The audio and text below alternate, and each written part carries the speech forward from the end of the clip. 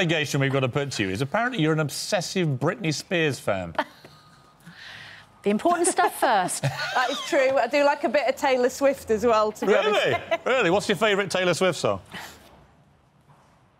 Well, I, I, was tempted to say we are never ever getting back together, but I think the Labour Party needs to leave all of that behind us well, now. that's a very good point. Because Jess Phillips stood down yesterday saying she couldn't get the Labour Party back together. She wasn't the person to unite all the different parts of the party. What makes you think you could do that? I very much admire the very smooth segue from Taylor Swift to Jess Phillips. I think she'll be pleased with that. And I suppose the reason that I'm in this contest is because I do genuinely think that the Labour Party wants to pull together and move forwards. And I'm someone who is genuinely non factional.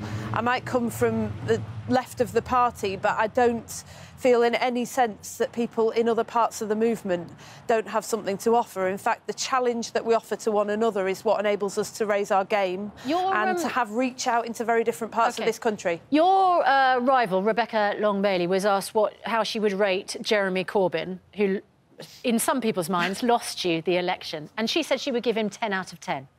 Uh, what would you give Jeremy Corbyn? Uh, if you don't mind me saying, it's just the daftest question that I've ever heard. I mean, people are human beings, they're complex. It's perfectly possible to believe that Jeremy Corbyn did a lot for the Labour Party in moving us away from an era where we Sorry, were. Is it the uh, question? Uh, are you saying that the question, what, how you would rate, that we should have won an election and we needed the leader of the Labour Party is a daft question?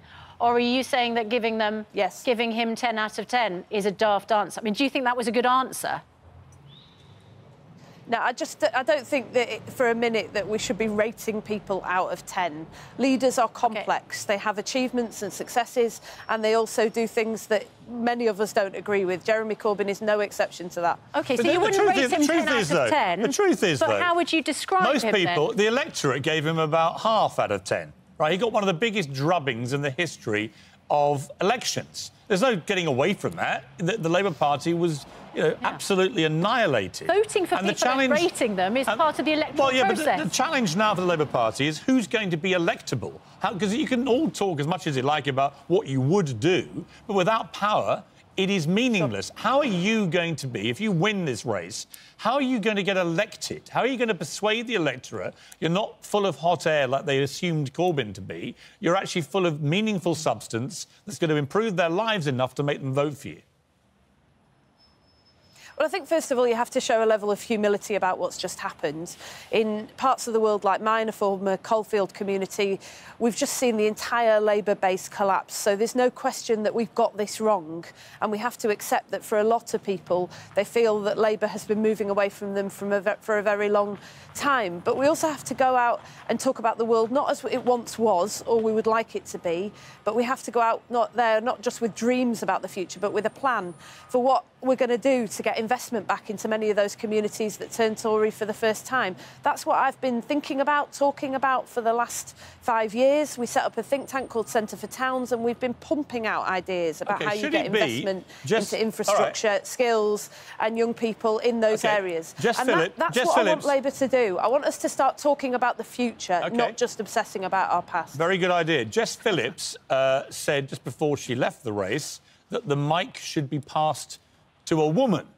Uh, and then, with great irony, uh, she then, as one of the women candidates, dropped so out. She couldn't do the job. So she couldn't receive the mic even if it got passed to her. Was she right in saying that because the Labour Party's never had a female leader, and there are now so many female candidates in this race and only one man, was she right to say that the right thing for the party is to have a woman leader next?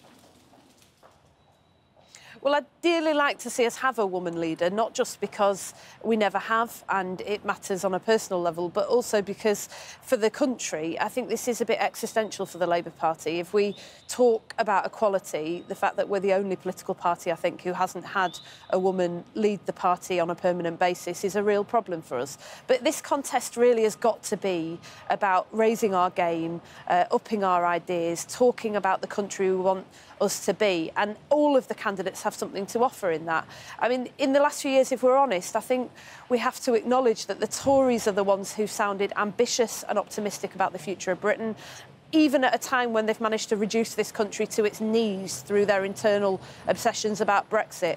And Labour has to go out and show that we're ambitious for the future of this country. And that means that Keir, Emily, Becky, and I have got to make sure that we're in this okay. contest, that we're raising well, the bar, your father... and that whoever comes out as leader at the end of this okay. process has is strengthened by the process right, and has something uh, to say about the future. Your father, Dipak, uh, as an Indian Marxist who apparently views you as far too right wing for his liking. Is that true? Well, he's very proud of me, um, as I am of him. Um, he's a he's a Marxist academic. He came to Britain in the 60s, and he, you know he's been very influential in my thinking because my family stretches a wide range of political thought, from Marxism to liberalism and everything in between. And it's one of the reasons why I listen to what people have to say, and when I take on my opponent's arguments, I do so at the core and not just around okay. the fringes. Do you think because, really because of your background, We've been talking about the NHS for a long time time and people accept that we want we care about the NHS, but we've got to start thinking okay. about taking on the but arguments the where it's hard for us, not just easy. As the only candidate with any diversity in your upbringing, uh, do you think this whole debate around the Meghan Markle, uh, that uh, was the media coverage racist? Did it drive her out, and so on? What's your take on that? I mean, do you think Britain is remains inherently a, a racist country, as many saw it many decades ago? I, I, think Britain is a much more decent country than some sections of the media would have us believe. I represent a town in the north of England where working class people have come out consistently over decades and driven out the far right. We saw off Tommy Robinson last year. I think this country is far more decent than we're portrayed by some sections of the media. And the way that Meghan Markle was treated, I didn't like it at all. My colleague Holly Lynch got together a group of women MPs and we signed a letter to ask for better coverage of Meghan. I think this is not not shown the British media in its best light, and See, that's a shame because there are large sections of the British media, including thought, local papers, I thought that, that, letter, are, that are really decent. I thought well, I that letter, will, I thought that letter was ridiculous. Uh, I thought it didn't bear any relation to the reality, which is Meghan Markle's had exactly the same level of treatment as someone like Kate Middleton, for example, good and bad in equal measures. If you're a member of the royal family, you get acres of press coverage. I would say 70% of the Meghan coverage has been positive, 30% has been negative, and she just doesn't like the negative stuff. It's got nothing to do with her skin colour, nothing to do with her gender. It's just they've done stuff that the British public and the media reflect British public opinion most of the time, just thought was wrong. Well, if you don't mind me saying, how on earth would you know, as somebody who's never had to deal with ingrained prejudice, you're not in a position to understand people who have? I'll, I'll tell you how I know. I'll tell you how I know because the, because the media. I'll tell you how I know, Lisa, because the media, right up to that wedding, were universal in their uh, outpouring of praise and support for what a wonderful thing it was that we were having a biracial woman entering the white monarchy. Finally, we were dragging the monarchy, kicking and screaming, into a multiracial world which reflected the, the actual nature of this country now. So, this idea that somehow we're all a bunch of racists, well, the coverage right to the point of that wedding actually was completely the opposite. It embraced everything about what Meghan Markle could bring to the monarchy. So I just don't accept this narrative that just because she then got criticised for, in my view, a series of missteps, that becomes automatically racist. Could I say something? Yes. yes. Okay, um, so I don't know where I don't know who you're pushing back against in this sort of interview because I said exactly the opposite. I said it was a real shame that some sections of the media had treated this as uh, in the way that they did because most of the media including many local papers are allies in the fight against racism and discrimination in Britain. And it's I would much rather that their voices were heard. So I miss did I misinterpret you there you were saying you were actually saying you don't think the media's been racist to Meghan Markle I don't think the media is one entity. I think there are different parts of the media who do different things. And I think on the whole, the media does a good job of reflecting this country, particularly at, at local and regional level, where you often get a much more um, tangible discussion about things that really affect people's lives and the issues that matter to people forced onto the political agenda. But um, the way that Meghan Markle was treated by some sections of the media, I didn't like it. And I think that Britain can do better than that. I think we're a very, very decent country and I think people deserve better.